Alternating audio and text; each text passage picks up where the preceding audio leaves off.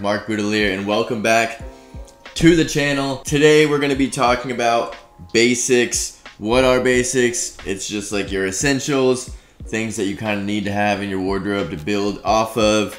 Um, it's kind of the the backbone of your closet, if you will, um, and is arguably one of the most important things. It's something that a lot of people kind of neglect or choose not to like invest in, and I'm here to tell you that that is not necessarily the way to go. Um, not saying that you have to empty out your wallets for white tees and black tees, but um, it is important to kind of like realize that that is going to be kind of the the body of your outfit in a sense. It's gonna be what kind of builds it all together. It's the meat.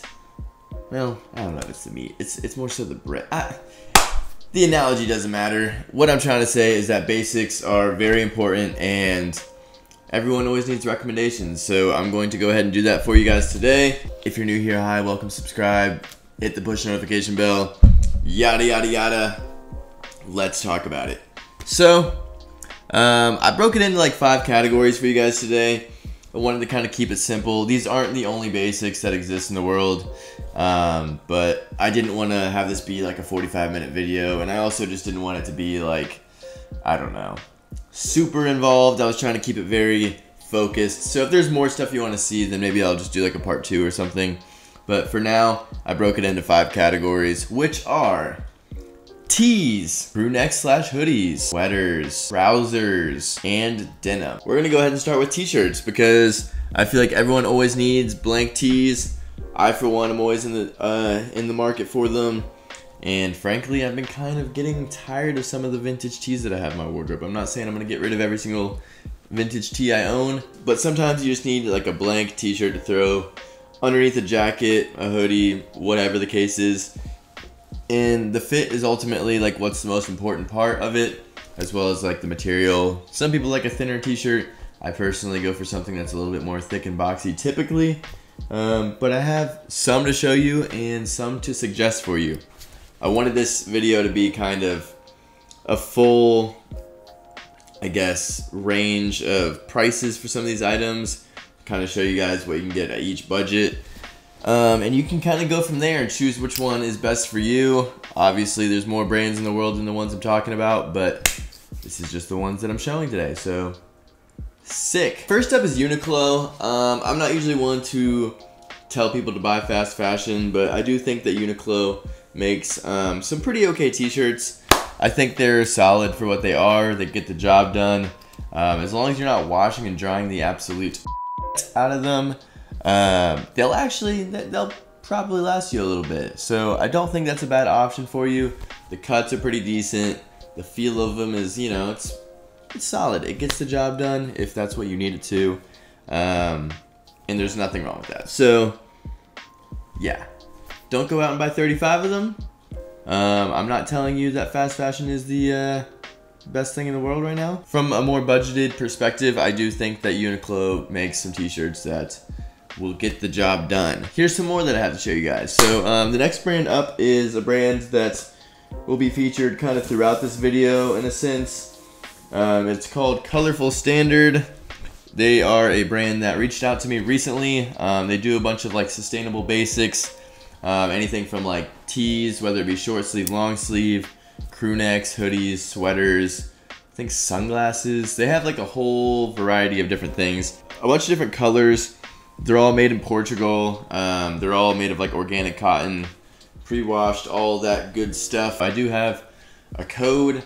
I want to say it is Mark B CS 10. Um, so that'll get you 10% off, but this isn't really supposed to be a huge ad. I'm just showing stuff that's, you know, is good for uh, good for basics. So I just wanted to include that in there, but you're more than welcome to go check them out and uh, use that code if you find something. Hey guys, it's Mark here with Colorful Standard, the only brand that's sustainable and has great basics like this long sleeve here and this beautiful off-white colorway. You don't like off-white? How about Travis Scott? We have this Travis Scott colorway sweatshirt right here. All made in Portugal, all sustainable. Shein. And if this offer isn't sweet enough for you, type in Mark BCS10 for 10% off of your order. Order today. But this is the long sleeve t-shirt they sent me. It is in like an ivory color, so it's like not a crisp white, but just a little bit uh, more of like a, I don't know, not really a cream, but just like a off-white. Shout out Virgil. This is a really great uh, fitting long sleeve. I was definitely impressed by the fits of everything. You know, into uh, when I'm looking at basics, I think that the fit and the quality are probably like the two top things for me. But ultimately, you want to have really great fitting basics, and I feel like this does that for me. Uh, pretty good weight to it. It's not super thick, not super thin. Has a nice like touch to it as well. Pretty soft. Um, you can see that it's still new with the tag on it, so I have not washed and dried it and all that yet. Um, but yeah, it's pretty pretty solid, pretty nice. I'm a fan, and it's always good to find sustainable uh, basics and stuff like that. So pretty great option. Another great option um, is this other brand who coincidentally also sent me a couple pieces. No, I do not have an affiliate code, so I uh, apologize if you prefer this t-shirt better or something, but it is this brand called Adapture. I believe they're out of Canada, and they sent me a black one, a white one, and then this kind of green color one. All really great fitting tees. Uh, these are like a cotton poly blend, so they have like a little bit of a stretch to them, not a super, not a super uh, stretchy feel, but just like a subtle. And it's not, it doesn't really have like a sheen to it either. Shout out Shein. Not actually, but they uh, they have like a good a good feel. You know, it's a it's a good boxier fit, a little more oversized. If you are interested in these, I would definitely tell you to um, do not size up because I do think that they run just a tad bit big.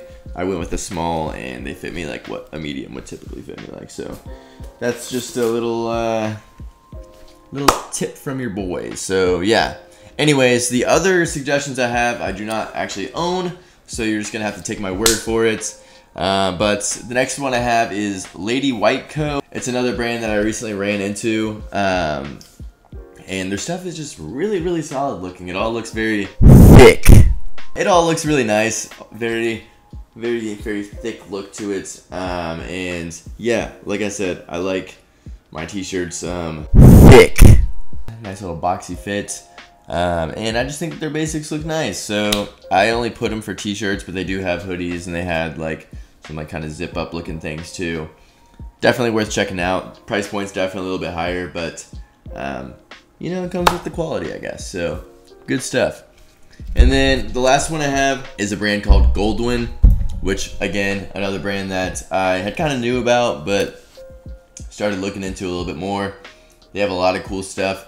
A lot of like gorpy looking stuff, but then the t-shirts are also like super great quality. I did get to feel one in person and I was very, very um, pleased like with the feel of it. So definitely another brand to check out if you're interested. I do think that theirs are also a little bit higher on the price points um, scale, but again, very nice stuff. Um, so definitely worth checking out. But let's get on to crew necks and hoodies. The perfect fall essential we're gonna start with this epic Travis Scott colorway um, of this LA Apparel hoodie.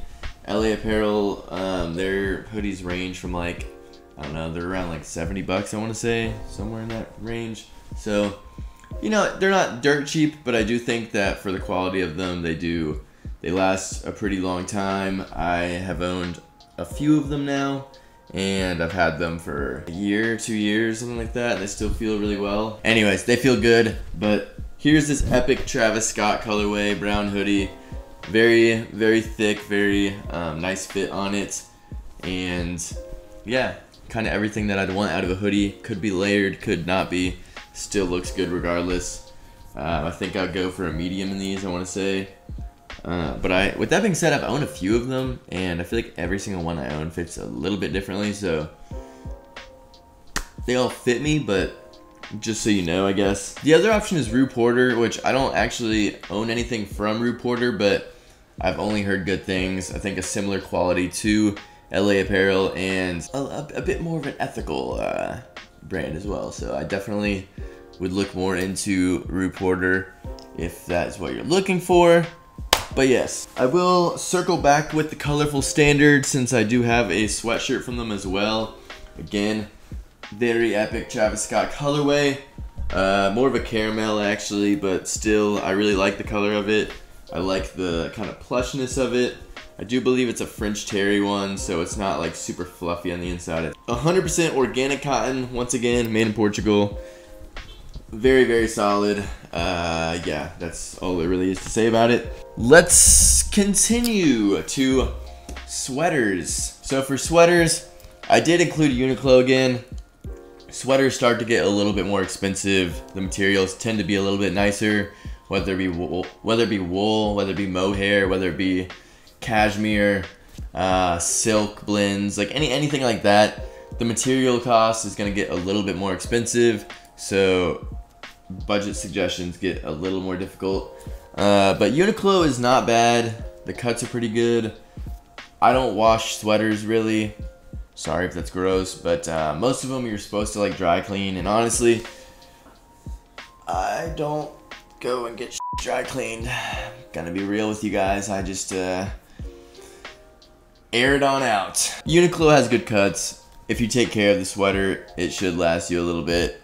Is it the best option? Probably not, but it depends what your budget is, you know, how much you want to put into it, how much you're uh, gonna wear it, all of that. So it's up to you to kind of decide for yourself. But anyways, back to the uh, massive ad that I'm unloading on you guys. Hey guys, it's Mark here with Colorful Standards. We have this colorful standard sweater, which I realize it is this bright pink color, so it's not necessarily like your everyday basic. It is really nice, and they're called colorful standard for a reason. There's like an absolute load of colors. Like there's literally like 30,000. Like there's probably like three different colors that look somewhat similar to this color.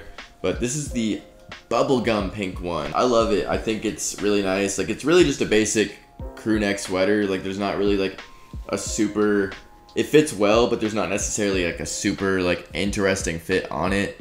Like it's a great layering sweater. I wanted to get like a fun color because again, like I don't think the fit is that that crazy. It fits well, but it's just very standard. So I wanted to have a cool color. And yeah, quality is great. Very happy with it. And it's recycled merino wool is what it is. That's the material. So there you have it. Now we're gonna get into the more like luxury options, if you will. So the first one is Beams. It's kind of a good, it's kind of a good bridge between like the luxury and like the not luxury, I guess. It is pretty expensive still, um, but you can find deals, whether it be secondhand, whether it be um, sale sections or like whatever else. But all I have is a sweater vest. I do think that they've been killing it with the cardigan game recently. So honestly, I don't even know why I'm showing you this vest. I'll probably just flash you guys some cardigans instead. They are killing it with the cardigans. They're killing it with just the knitwear in general. Definitely would not overlook them. Next up is Our Legacy. I've literally talked about Our Legacy the past like five videos, it seems like. Um, so our legacy if you're watching.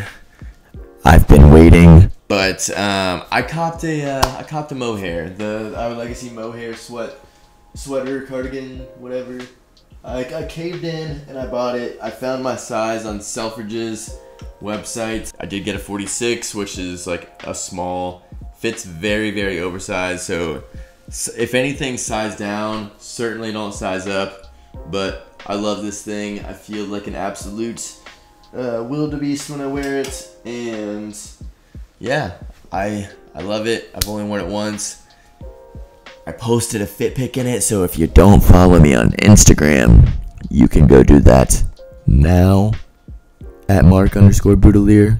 It's a it's a pretty nice sweater. The material is insane. It ran me like around like 400 bucks, which was way more than I've ever spent on a sweater, but people were reselling them. People were buying them out in that size and reselling them. So I just could not do that. I was not about to pay a resale price for an Our Legacy sweater. And again, I had to really think to myself, you know, basics. How much will I wear this? How long will it last in my closet? Next up, we have Marni though. And if you really want to make a poor financial decision, spend eight, nine hundred dollars on a cardigan. They are beautiful though. I I might have to make that poor decision next. I might have to be the next one up for that. But they are super nice. Speaking of mohair, their mohair is oh so sexy. Very vibrant colors, very fluffy. Just makes me feel special inside. Um, definitely would check them out. You've probably already seen them. They're they're kind of thrown in your face. Definitely kind of uh, the niche explore page special. Anyways, let's go on to trousers. So I originally had this category as black trousers. I feel like you always need black pants. It's just like a, a statement, or not a statement, I'm sorry, just like a very simple everyday pant. But I kind of just changed it to trousers because I realized that I don't have that many pairs of black pants. I'm over here suggesting uh, basics, and I don't even have my uh, personal basics really nailed down yet. So this is a video for both of us. This is a uh, this is a conversation between the two of us, if you will. So if you have suggestions, drop them in the comments right now, and I'll look into them. First up, we have like the budget trouser, which I think the Wrangler dress jean is a great option for that. It does have kind of a more polyestery feel, which might not work for every outfit depending, but I do think it's a good entry into like the kind of dressier pants game, if you will. Like it definitely bridges the gap between a casual trouser and something a little bit more sophisticated. So good little option. I do also have a pair of Levi's Action Slacks, which would be a vintage option for you. I tried not to include vintage in this video because I feel like that's kind of a given that you can find basics on the vintage level. Levi's Action Slacks, pretty much the same thing as the Wranglers, just a vintage option of it. And yeah, plenty of colors, plenty of options. Still polyester feel, but whatever. Anyways, um, next up is COS or COS, however you want to pronounce it.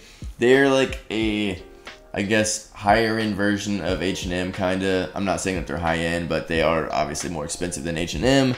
Not really a fast, fast fashion option, but is still kind of, kind of fast. I, I really don't know, honestly. I've, I've bought some t-shirts from them before. Some of their stuff is definitely higher quality, but I'm not to say it's like, uh, it's not like designer quality. But they have really incredible cuts. I think that's the, kind of the big thing that I'm getting at. It's a good option if you don't want to spend like several hundred dollars, but you do want to kind of like invest in something that'll last a little while. Let's get into a couple higher end options though. First up, I have Studio Nicholson, which I do have a pair of like the khaki bill pants from them, which really are kind of a sophisticated chino. It's like a 2021 chino, um, much wider leg. Uh, I haven't worn these yet though. I think it's the khaki color. I really would have rather had a black color, but I got these secondhand for an absolute stilio. And yeah, I don't know. I actually had a black pair. They just weren't the same size as this one, and they didn't work, so I had to get rid of them. But they're nice. If you come across a pair, whether it be secondhand or whether you just really want to invest, I definitely would suggest doing so because the quality is there and the cuts are pretty pretty nice. So yeah. Uh, last up is La Mer. Lemaire is an incredible brand as well. Amazing like tailoring and stuff. Um, they got some great trousers, I must say. I've never owned anything from them. I don't even know if I've ever felt any of their stuff in hand. So maybe I'm just spewing bullshit at you. But um, they look pretty nice. They look pretty fantastic. And you should uh, take a look see for yourself, perhaps. But yeah, anyways, let's get on to denim and then we will be done here. First up on the denim category, on the low end, is Levi's.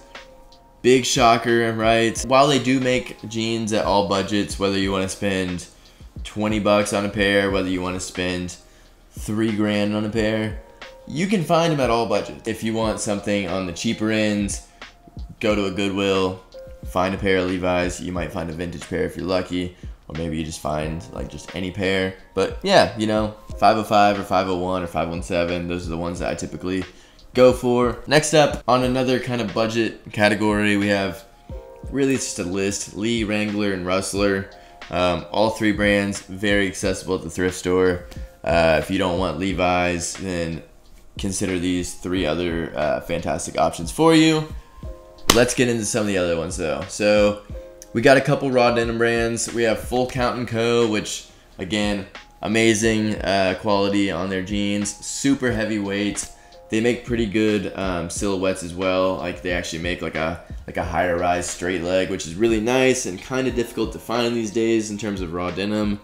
Uh, I had a pair, they weren't my size. Super disappointing because I got them for a Stelio, but if you ever run into them, definitely would try them out because they nice. So yeah.